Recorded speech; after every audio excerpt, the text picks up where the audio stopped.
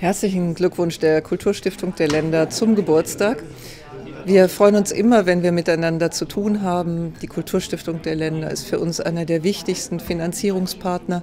Und zwar sowohl auf Bundes- als auch auf Länderseite.